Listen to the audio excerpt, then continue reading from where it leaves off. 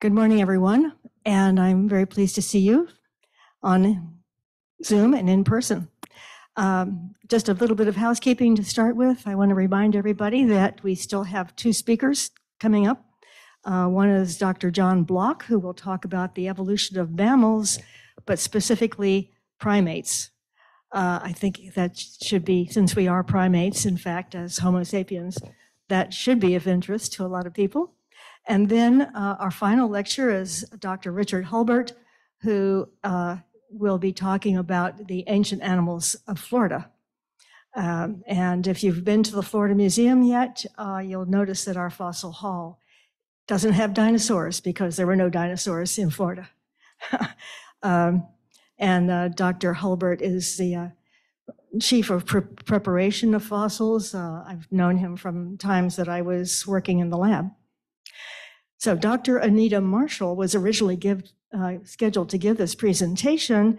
She was unexpectedly invited last weekend to the USGS Hawaii Volcano Observatory as the huge volcano Mauna Loa was becoming active and expected to begin a large-scale eruption. Dr. Marshall, well, she teaches dinosaurs, is a volcanologist, and this was an opportunity too good to pass up, she said apologetically. So she enlisted uh, her teaching assistant, Sarah Lynn Redding, uh, a PhD student in the Department of Geological Sciences. And for three years, she has been Dr. Marshall's teaching assistant and co-lecturer for the semester course on the Mesozoic age of dinosaurs. Sarah's interest is both in science, technology, engineering, and math, STEM, and in volcanic minerals. In her PhD research, she is focusing on potential causes of disconnects between the expectations of UF geology students and their professors. That sounds pretty rich. Her undergraduate degree in anthropology is from Florida Atlantic University in Boca Raton, and she completed the coursework towards a master's degree in anthropology and interdisciplinary social science. She has had considerable experience teaching and tutoring students at FAU and Daytona State College who were struggling and at risk of dropping out. So I hope you will welcome Sarah Redding. Thank you. Good morning, everybody.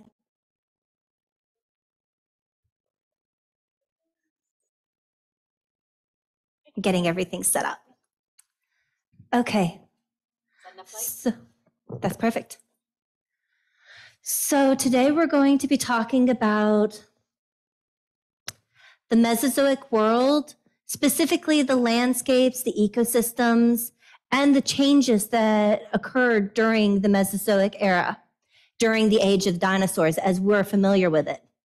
And I don't think anything captures that idea better than the picture of the three different globes on the screen right now.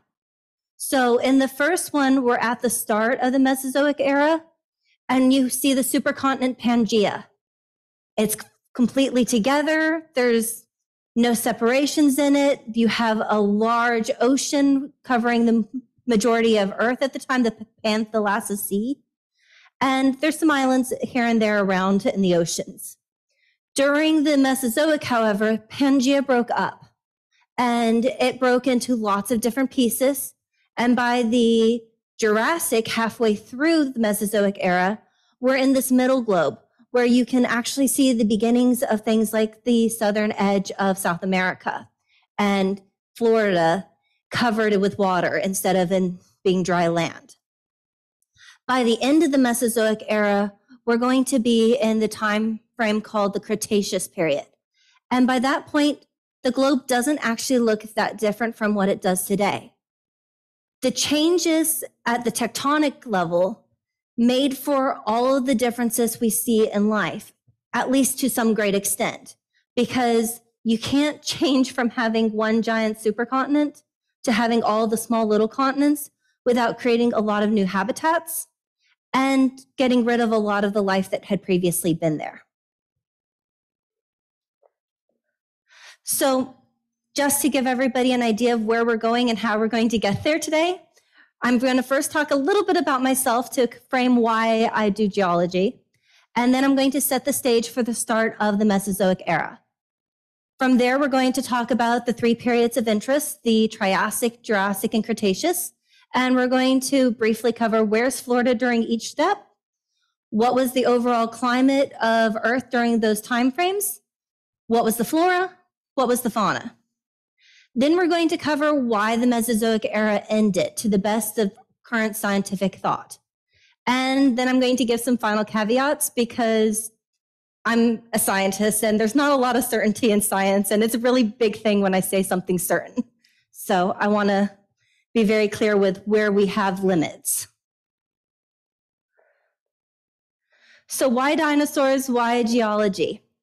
Well, the big thing for me was that I traveled a lot as a kid, and traveling, I got to see a lot of different interesting types of outcrops.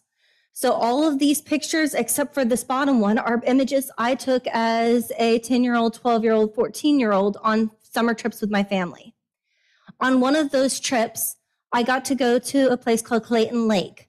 And Clayton Lake is world famous for having some of the most extensive dinosaur fossil tracks found anywhere. In fact, these fossil tracks uh, that I had on the previous slide are from Clayton Lake. And then during the summer before my senior year of my undergraduate program, I actually got to go on a paleontology dig in New Mexico with the Mesaland Museum, which is a very large fossil museum that has life-size casts of most of the major dinosaur discoveries in New Mexico and around the world. And while we were there, I was part of opening up six new dig sites at our site location. And we discovered amphibians that had teeth. And it was really an interesting part of my journey to becoming a geologist. So, setting the stage for the start of the Mesozoic. Earth began the Mesozoic era covered in that giant Panthalassa ocean. The continent was Pangaea and it was a supercontinent. But while it was a supercontinent stretching from both the North Pole all the way to the South Pole, that doesn't mean that the ecosystems were homogeneous. They weren't all the same. Instead, there were a lot of different ecosystems. And at the end of the Permian, prior to the start of the Triassic, there was a massive extinction level event called the Great Dying. During the extinction level event, roughly 90% of life on Earth died over a very short period of time. And we only had 5% of the existing marine life survive and about a third of what was on land. Now, we don't understand why the Great Dying occurred. It is far enough back in our fossil record that we don't necessarily have the best evidence to say what happened. And there were a lot of different theories that have been proposed over the years as to what might have occurred, some of them being a massive impact. We don't have a crater that would give us that indication. Some have said maybe it was the Siberian traps, which are a massive area covered in Siberia, covered in volcano, volcanic debris. And the volcanic eruptions they think might have introduced enough gas to our atmosphere to make it very toxic and have changed the chemistry of the oceans so that there is a lot of anoxic events, so no oxygen available to support the life that was in the oceans at the time. And those massive traps, they were hundreds to thousands of miles wide and they are multiple miles thick as well. So it was a very long, very well preserved indication of what could have happened. But we're not sure that that was the entirety of the story. But it left open a lot of places in the fossil record where things disappeared. And that means that on land and on sea, when things disappeared, there were a lot of new places for life to appear.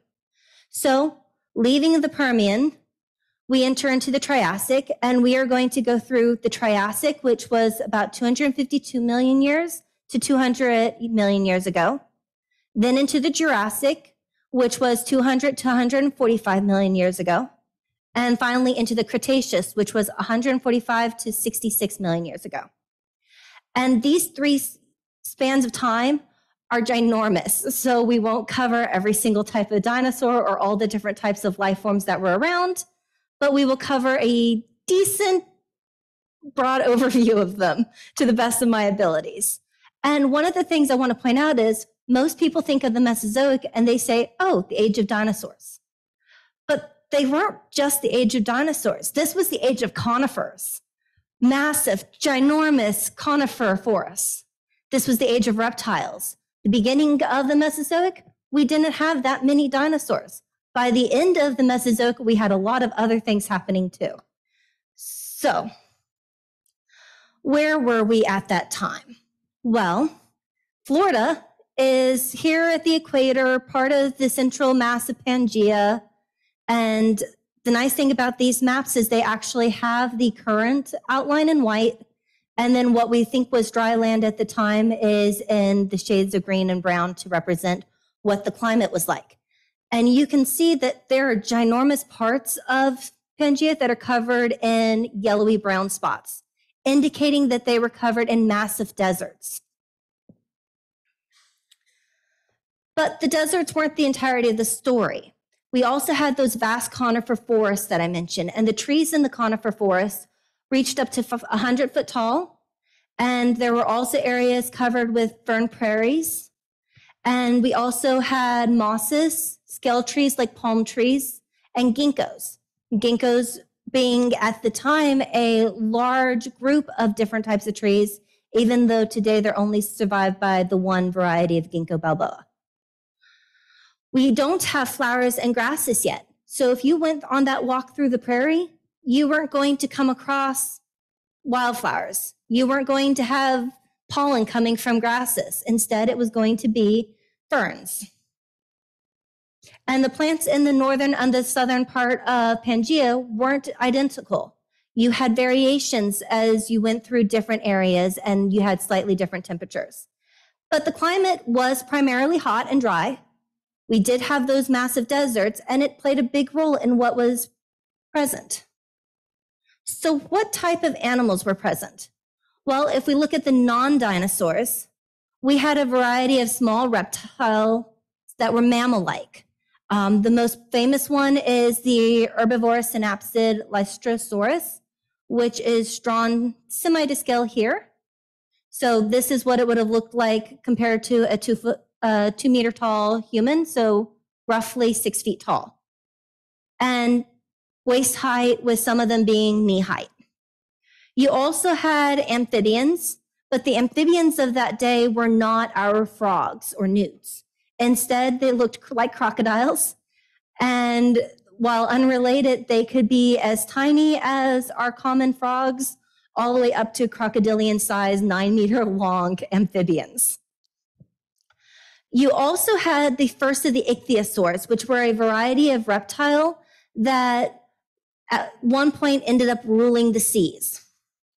They early on did not look like dolphins of today, but over time they evolved to looking like that.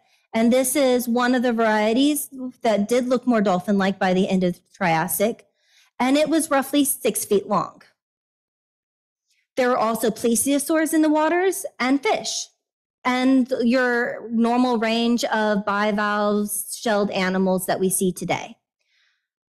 Around 228 million years ago, the first pterosaurs appeared and took to the skies.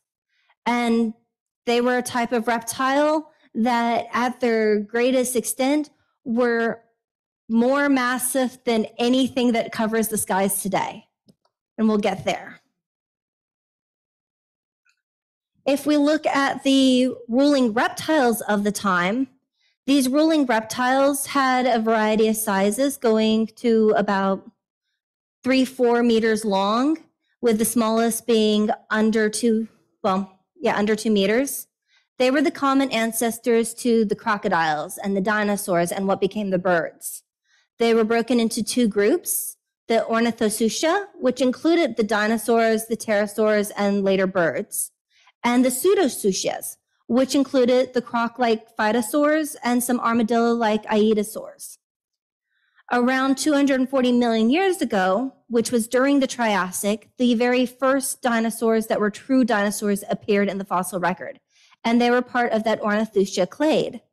They were small and bipedal originally, but they quickly split into two different groups the Saurischia, which became the sauropods, and the Ornithosclida, can't pronounce that word, sorry guys, which included theropods and ornithischians. The theropods are the type of dinosaurs we think of when we're thinking of velociraptors and T Rexes, but they weren't originally that size. So, this gives you an indication of the size of the Triassic dinosaurs. So, during the rise of the dinosaurs, the ornithischians had hips like modern bird hips. There were carnivorous varieties and herbivorous varieties, differing with length of neck based off of what type of food they ate. And then you had the Saurischians, which had hips that were more similar to the reptile hips we're used to. And all of them were herbivorous, but they had grinding teeth and non grinding teeth. Rheosaurus was pretty massive. It was one of the herbivorous Saurischians. Isanosaurus was another one. And this is a juvenile member of the Isanosaurus based off of the fossils we have found, they probably got a lot bigger as they got older, but we actually don't have a complete skeleton of an older Isanosaurus. The ornithischians were pretty tiny, in my opinion. This is one of the smaller carnivorous varieties, but they were all pretty much shorter than waist height on an average human.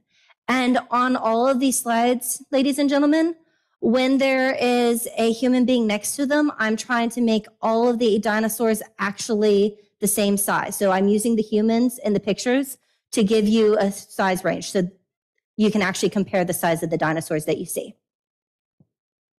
Or the pterosaurs, because I include pictures with pterosaurs like this as well. So going into the Jurassic, we had those dinosaurs, but things started to shake up the supercontinent Pangaea started to split. And as it split, it created a lot of new environments for things to live. Florida starts to submerge at this time, and you can see that there's barely any green left here. And once it submerges during the Jurassic, it stays submerged up until closer to modern times. So we won't see it really show up again. And the fossils we recover from Florida during the Mesozoic are pretty much entirely relegated to things that would have come from the bottom of an ocean. So we have a lot of limestones, and that's why the foot of Florida is a limestone foot. You also have another small extinction that takes place here at the boundary between the Triassic and the Jurassic.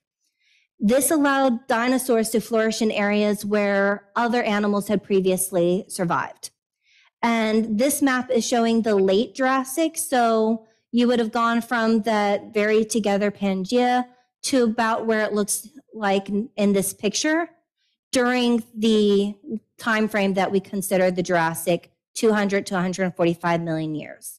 55 million years of time is a lot of time for this type of change to take place, but it happened pretty fast geologically speaking.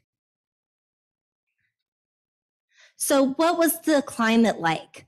Well, with the newly formed inland seas, we started to have a warmer, more tropical feel to the earth. We had lush vegetation covering the majority of land, and that vegetation dominating the majority of land gave a lot of new areas for things to take over. Our plants were palm tree like cycads. We had conifers, which included the sequoias and the redwoods that are still around today. We had ginkgo still, and there were giant tree ferns that were multiple meters high, taller than humans. And this changing landscape with its temperate and tropical forests had a low seasonality, meaning that we didn't have summers and winters that were extremes of each other, with very cold periods in the winter and very warm periods in the summer. And that's thought to be because of the amount of water that was suddenly found inland, replacing what had once been deserts. So these inland seas and large oceans had a lot of room for new types of life forms. But the old ones were still present for the most part. And so you still see things like the ichthyosaurs, which were very fish like. Um, you also had long-necked plesiosaurs, which are these guys. And you had marine crocodiles. You had modern-looking sharks and rays. And you also had giant fish, like this guy in the bottom, and different types of cephalopods and ammonites. This was also known as the golden age of dinosaurs. So all of those different places that were available to take over, they did. And they did it rapidly with great sauropods that were so tall that they would be filling the entire length of this room and then some. You had the Camarasaurs, Diplodocus, Brachiosaurs, lots of others. And the ornithischians really separated out into those theropods and the non-theropods that were herbivorous. And you had the stegosaurs became very po- common during this period. And there's evidence that some of the dinosaurs, like iguanodons, were around too. The large theropods were not yet at their maximum size, but they were still pretty big. So these are the sauropods. So compared to our six foot tall person, all of a sudden the screen is all dinosaur instead. so we have the large brachiosaurs, which were one of the tallest, and then your Diplodocus and Camarasaurus. And even with them being so tall, so long, there's evidence in the fossil record that they still had to get up on their tippy toes occasionally and throw their bodies, massive bodies up into the air and try to reach higher because the trees were so tall then. I mean, we're talking about redwoods and the leaves being super high up in the air. These guys were trying to eat them. The ornithischian herbivores were those stegosaurs, but we also had little things like lesothosaurs. And because you guys would not really be able to see any details if I did them at their actual size, this is the actual size of the Lesothosaurus. It's tiny little chicken compared to the ginormous Stegosaurus. And they had a wide variety of stegosaurs at this time. Um, this is just one generic example for you guys to enjoy. In terms of our theropods, well, I said they got pretty big. They're taller than most humans now and taller than dogs. They definitely were excellent carnivores and very fearsome. There were other things, though, that were equally big. We also have other types of animals present during the Jurassic. Just because it's the Jurassic doesn't mean that it was all dinosaurs. In the era, we have the pterosaurs, and they were getting pretty common, and you could have some that were as small as a foot, and others that had up to a 16 foot wingspan. Pretty big. And here's two examples of them. You also had mammals flourishing. And those mammals were even some of the earliest uh, types of placental mammals that we're finding in the fossil record. And they were frequently going after insects that were continuing to evolve in the background. The first birds that evolved from small dinosaurs show up in the fossil record during the Jurassic. And the best known example of that one is the Archaeopteryx, which had beautiful wings that we could actually see because of the fossil imprints left behind in the rocks. So moving on to the Cretaceous. Between the Jurassic and the Cretaceous, there was a tiny, in geologic terms, extinction event. It did open up some more rooms for creatures to evolve into new habitats that they hadn't been in before. But this is really the era of the ginormous, terrifying lizards. And at this time, Florida is entirely submerged. The planet has continued to get warmer, more humid, more tropical feeling both in the northern and the southern reaches. There is no Gulf Stream current yet, which means that we're not creating a major temperature gradient from the poles to the equator. And we need a temperature gradient to really start getting strong seasonality. So while seasonality has increased, it's not to the point that we would expect commonly. And the land was primarily going to be either part of Laurasia at the start of the Cretaceous or part of Gondwana in the south. And here you're seeing it once it's even further broken up, but this is a map of the late Cretaceous rather than the early Cretaceous.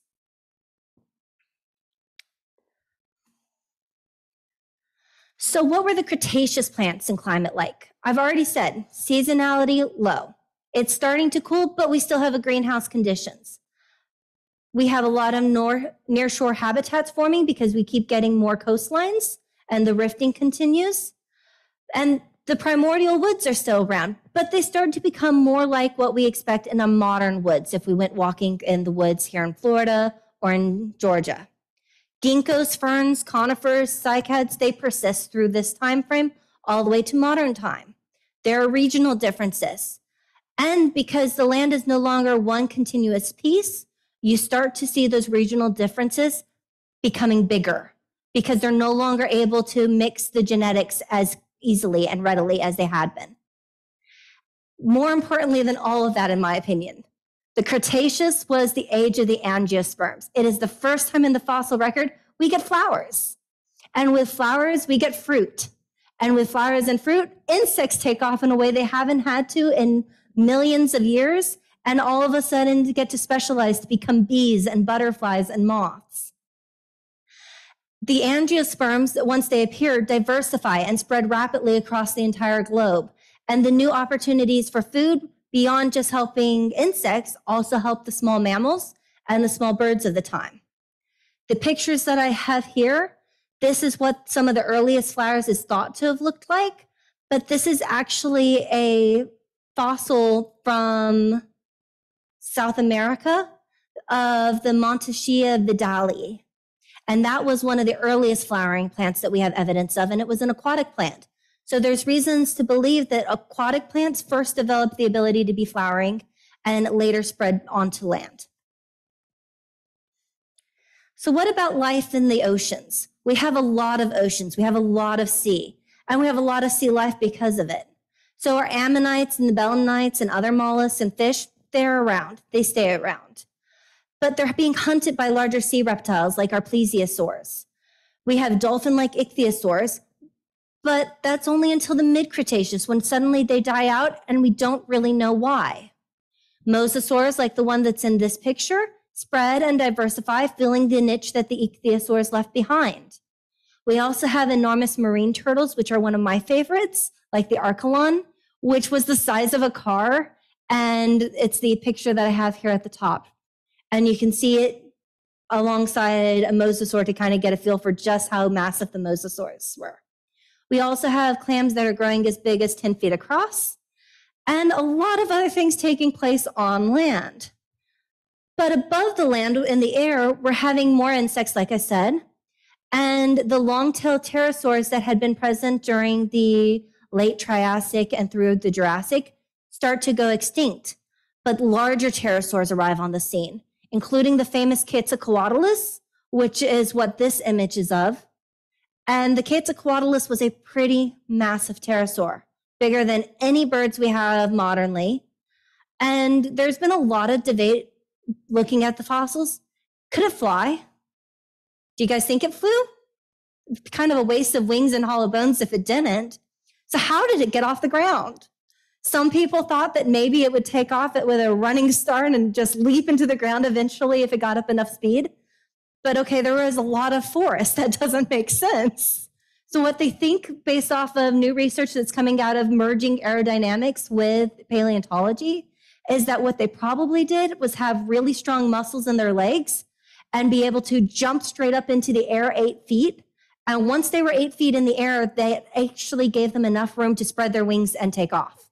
So, cool things coming out of geology. Birds also experience their first major radiation into all the little niches left behind by the previous extinction and all the new niches that are appearing because of more insects and flowers. But those birds didn't look like our birds of today. This is a pretty good example for it. At a distance, you could look at that and go, oh, that actually looks kind of like maybe a dove. But it had claws at the end of its wings still, and its beak had teeth. So, crocodiles. We live in Florida, have to mention crocodiles. Crocodiles of this time frame some of them had banana sized teeth. They were able to go up against T Rexes and win. things get too close to the water, chomp, gone. So the close relatives of the crocodiles were very successful during the Cretaceous. They ruled the semi-aquatic realms, happily moving back and forth between the land and the seas. The one that's in the illustration is called the Alphodon, and it really did have banana-sized teeth. That's one of the most easily recovered artifacts we have of them. True snakes show up on the scene during the Cretaceous, but they're not diversified yet. So you have a couple varieties and not much. Mammals, however, diversified. They take advantage of all the new food sources. Monotremes and marsupials appear in the fossil record, and we have early rodent-like animals that they look like rodents, but they aren't, and they don't continue past the Cretaceous. The two that are here in the screen are a I can't pronounce this one easily. Sorry, guys.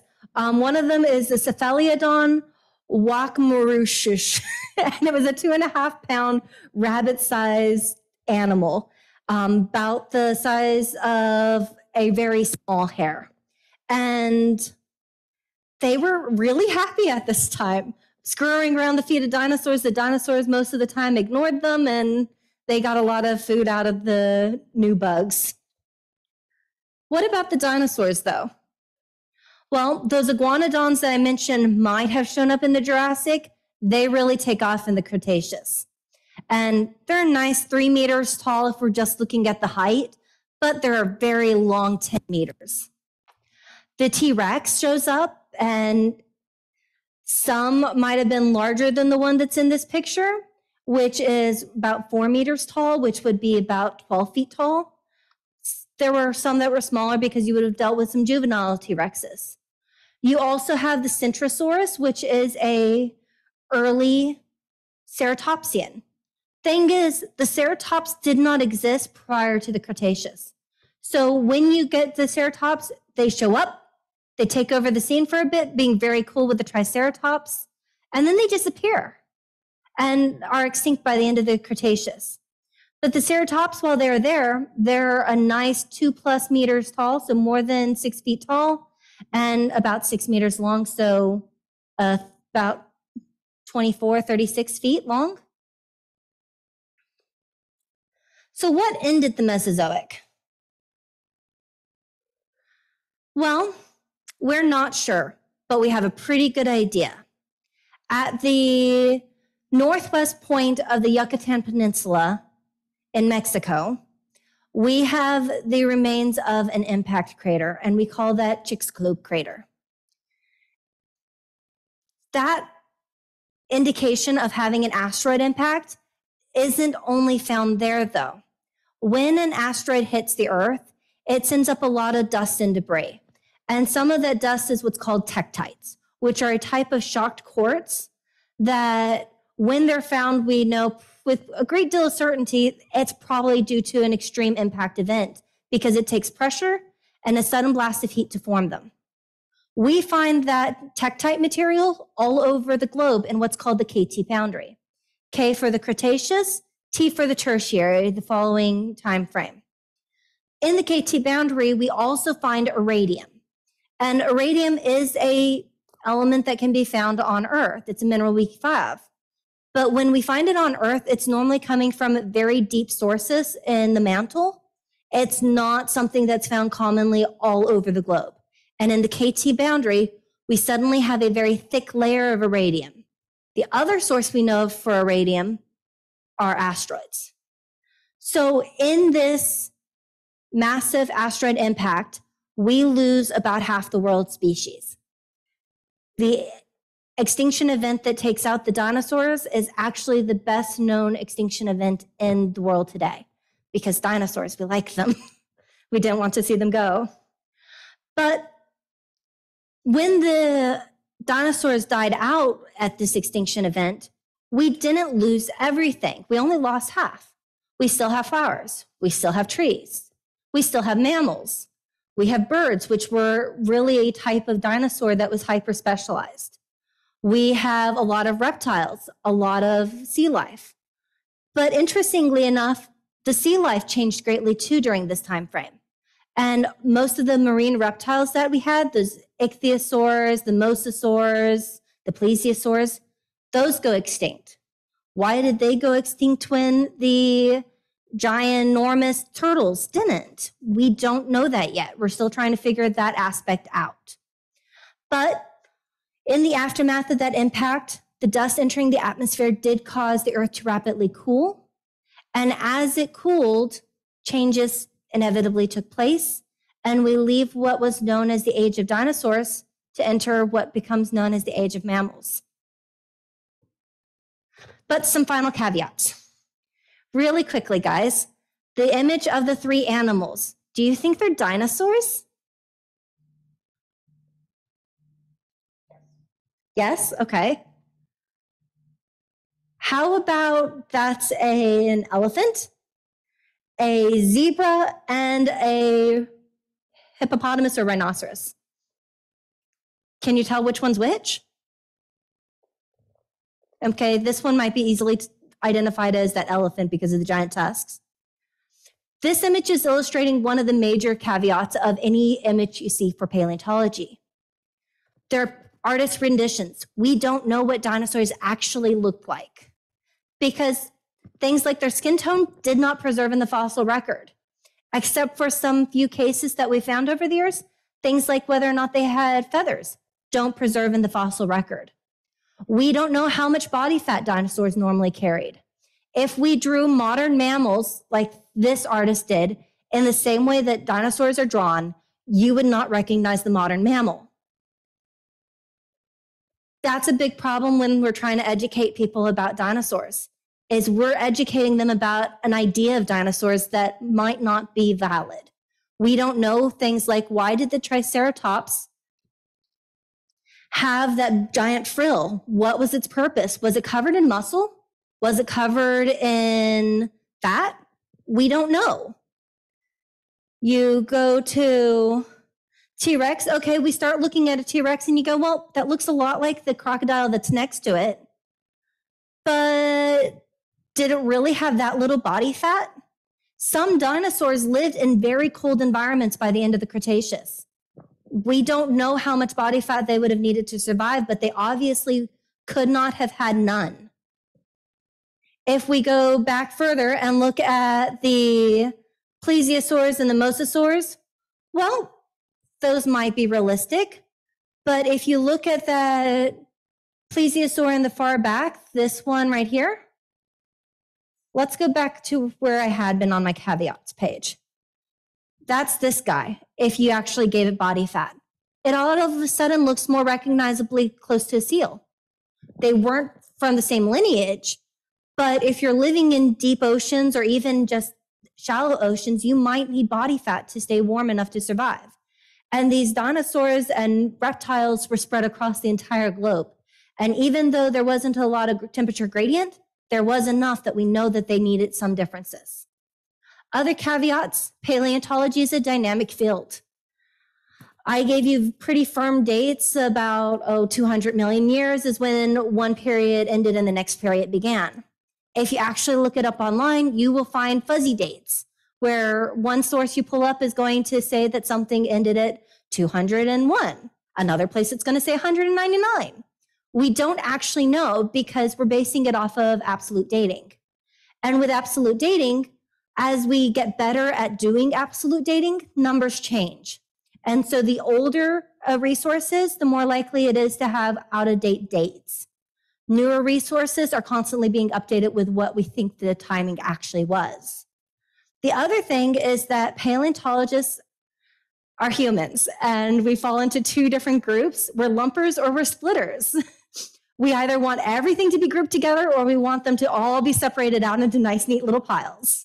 So if you go online and you start looking at the different types of ceratops, for example, there are groups that will link all of a variety of ceratops as being different species, showing very different evolutionary trends. You can look at that same set of species though and find researchers who are saying actually this was all one species. What we are seeing is juvenile to adult, the life history change. as their frills grow in and they go from having no frills to major frills. So, paleontology, it's a very dynamic field. There is a lot of discourse here, and it's actually a lot of amateur researchers that f- make the finds, and we get information from them all the time as to what things need to be changed. I think I'm within 45 minutes. Right at. So, questions?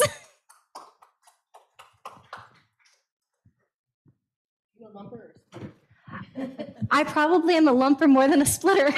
so, I like the idea that if you look at humans, if I took the skeleton of a child and compared it with the skeleton of an adult, am I going to see that they're significantly the same? There are a lot of similarities, but they might, for a splitter, actually be enough differences to split them into two different groups. I'd go, uh, side of caution, let's group them together until we have evidence that they're not together. And for me, the splitters are very much in the, oh no, it's more convenient to have everything be in all its little different spots. And I think that tracks back to the original foundations of paleontology in North America with the situations like um, Marsh, who was getting a lot of funding to go out and make fossil discoveries. Well, he made more money and became more popular the more discoveries he made. So it was more convenient for him to split everything out into all these little bitty groups. And then people came along and were like, actually, that lovely dinosaur that you just called the thunder lizard is the same thing as this dinosaur you'd already discovered, who's not a thunder lizard. So you lose the name Brontosaurus from the fossil record. And I'd rather be a little bit more cautious. Thank you. Um, Phyllis, if I may, we already have a question here Oh. on Zoom. Ms. Ryan, go ahead. How has DNA helped you in splitting or combining?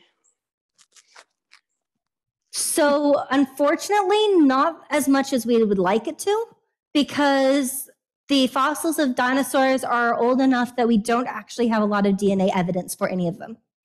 Instead, we have to look at what the bones look like and the climate and environment that the bones were found in to try and make the decisions rather than just what the DNA would tell us. DNA would make it a lot easier. And there are people working on There are ancient- people trying to find it. ancient DNA. So, uh, questions from the um, audience here? None? Okay. Um, I had one, but I've forgotten it. The cur- the curse of age, what can I say? Well, thank you so much. My pleasure. and- Wonderful presentation. Thank you. Yeah, thank you. Thank you. Thank you for having me today.